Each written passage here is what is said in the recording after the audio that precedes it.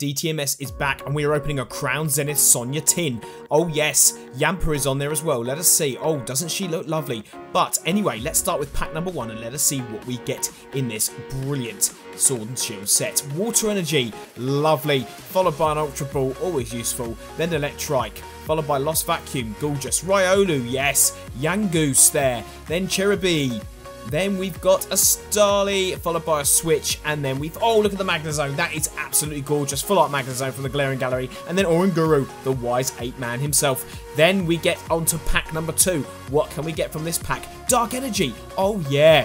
Followed by Crushing Hammer, Shaymin, Friends in High Hisui. Love that card. Then we get Execute, Love Disc. Oh my gosh, Emolga followed by Yanma, and then a Pawniard. Oh my gosh, Panguru there in the hollow reverse, followed by, oh my god, Rayquaza VMAX. Let's go, and I believe that's the alternate art. Absolutely stunning. Don't forget to like and subscribe.